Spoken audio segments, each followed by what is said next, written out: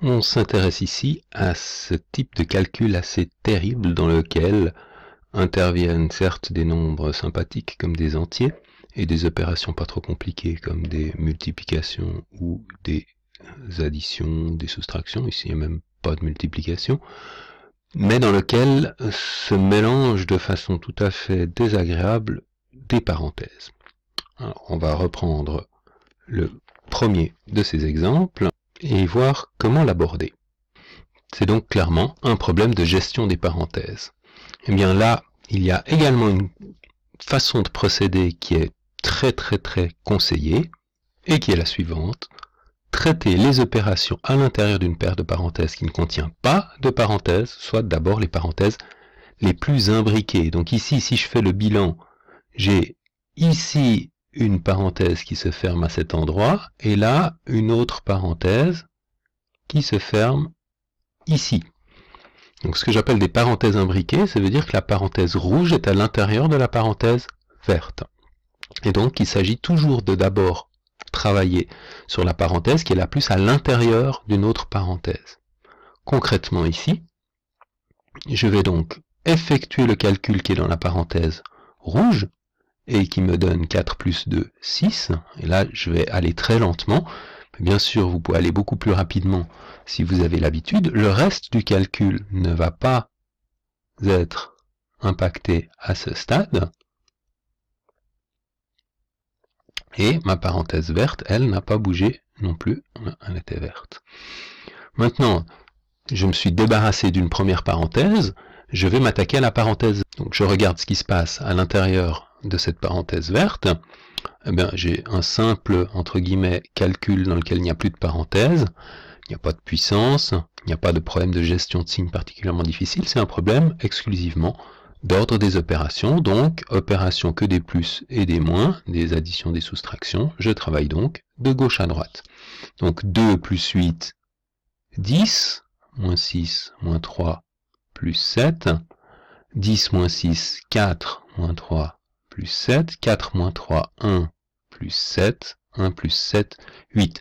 Vous pouvez évidemment aller un peu plus rapidement que ça en disant 2 plus 8, 10, moins 6, 4, moins 3, 1, plus 7, 8. Donc vous faites tout le calcul de tête et vous obtenez la valeur qui est à l'intérieur de la parenthèse.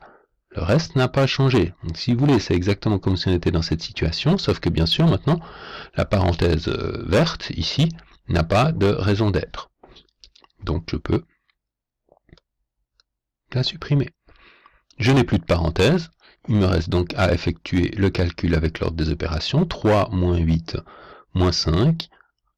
je vais l'écrire pour être sûr qu'on ne fait pas de bêtises. 3 moins 8 moins 5 moins 5 qui est derrière reste, et moins 5, moins 5, moins 10, ou plus directement 3, moins 8, moins 5, moins 5, moins 10. Donc voilà ce premier exemple. Et je reviens au deuxième exemple que nous avions ici. Donc je le Il paraît compliqué, mais si on continue à appliquer notre principe que revoilà, soit traiter les opérations les plus imbriquées d'abord, mais il me suffit, vous pouvez aussi travailler avec des couleurs, hein, de voir que ici vous avez une parenthèse, Ici, on peut travailler soit avec des couleurs différentes, soit avec des formats de parenthèses différentes. Des fois, ça aide à bien comprendre la structure du calcul. Ici, vous avez la parenthèse suivante qui va jusque là. Ici, vous avez une autre parenthèse qui est toute seule. Et enfin, ici, vous avez une parenthèse qui se termine comme ça. Donc une fois que vous avez analysé la structure de votre calcul, vous pouvez appliquer votre convention de travail avec les parenthèses imbriquées, donc les parenthèses qui ne sont pas elles-mêmes, qui n'imbriquent pas elles-mêmes une autre parenthèse, donc on a ici le moins 5 plus 2, donc ce moins 5 plus 2, je vais effectuer le calcul, commencer par là, moins 5 plus 2 fait moins 3. J'ai une autre parenthèse qui ne contient pas elle-même de parenthèse, c'est ce 7 moins 11, 7 moins 11 qui fait moins 4. Le reste, encore une fois, je peux aller beaucoup plus vite en faisant les calculs euh, simultanément, mais on est en train de mettre en place une façon de fonctionner qui doit être précise, efficace et garantir qu'on ne fasse pas d'erreur. Donc là, je vais tranquille. Le reste, je ne le modifie pas pour le moment. Donc j'ai, hop, pardon, j'ai oublié un morceau ici au milieu. J'ai le 4 moins 3, moins ma parenthèse rouge ici, qui elle n'a pas été traitée. C'est seulement l'autre parenthèse rouge, celle qui est ici, moins 5, moins 2, qui a été traitée. Et euh, donc, il faut faire très attention de bien respecter les parenthèses. J'ai donc ici le moins 5, moins 2 qui est devenu un moins 3 dans la parenthèse rouge et le 7, moins 11 qui est devenu un moins 4.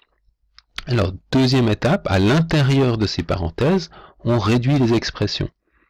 Par exemple, ici, ce 10 plus 2 moins moins 3, on se rend compte que ce moins, ce moins moins 3 est identique à moins et moins, c'est la gestion des signes, un double signe moins, donc ça devient un plus 3. Le reste ne change pas. Maintenant, toujours à l'intérieur de cette parenthèse rouge, je peux réduire maintenant l'expression. 10 et 2 et 5 fait 15. Et je reproduis à l'identique tout le reste du calcul. Je me rends compte que j'ai encore cette parenthèse rouge là, mais finalement elle ne sert plus à rien puisque elle est parenthèse autour d'un nombre lui-même positif. Donc je peux tout simplement supprimer cette parenthèse rouge. On va enlever la parenthèse rouge ici, enlever la parenthèse rouge là, et remettre les signes qui étaient autour. Donc je me retrouve maintenant, si je refais du calcul ou de, l'analyse de structure, j'ai toujours ma grande parenthèse verte ici qui est... Euh, pardon, elle n'était pas verte, elle était bleue au départ. Regardez là, ma grande parenthèse bleue ici qui commence là et qui finit là. Puis j'avais ma une parenthèse verte qui était avant le 4 et qui était après le moins 1. Vous voyez que j'ai gagné déjà un peu de temps. Enfin, un peu, pas, pas tellement de temps parce que la façon de procéder ainsi est assez longue et laborieuse, mais disons un peu de méthode, et en l'occurrence, je me suis déjà débarrassé de plusieurs des parenthèses. Bon, je continue avec les parenthèses les plus imbriquées. Il y a celle-ci, je réduis 4, moins 3, moins 15, moins 1, ordre des opérations de gauche à droite, 4, moins 1, 3, moins 15, excusez-moi, 4, moins 3, 1, moins 15, moins 14, moins 1, moins 15. Donc ici, tout ceci fait moins 15, parenthèse verte autour. Ici, j'ai une parenthèse moins 4 que je ne peux pas réduire, et j'ai moins moins 4, donc gestion des signes, moins moins 4 fait plus 4.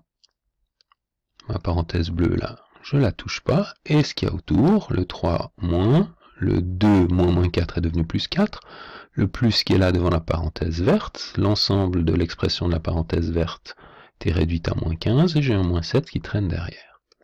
Il me reste maintenant cette parenthèse verte qui est un plus moins 15, mais règle des signes toujours plus moins 15, ça fait moins 15, plus et moins qui se suivent font un moins, et donc dans ma parenthèse bleue, j'ai 2 plus 4, moins 15, moins 7, parenthèse bleue, et 3 moins devant.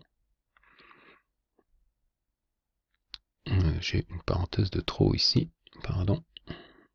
On va refaire les choses correctement. Donc j'ai dit dans ma parenthèse 2 plus 4 moins 15 moins 7 et la parenthèse bleue qui était ici. Et bien sûr le moins devant. Plus qu'à réduire cette parenthèse, 2 et 4, 6, moins 15, moins 9, moins 7, moins 16.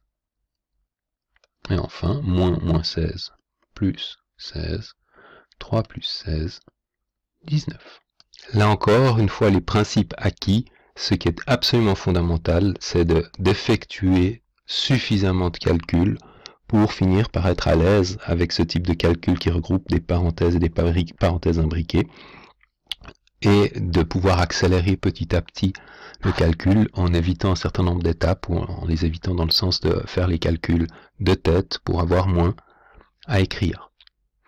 Remarque, dernière remarque, comme pour la gestion des signes, comme pour l'ordre des opérations, on a travaillé ici exclusivement avec des entiers, mais bien sûr on pourrait travailler de la même façon avec d'autres types de nombres, des nombres en écriture décimale avec une partie fractionnaire non nulle, 2,7, moins 3,8, plus, moins, etc.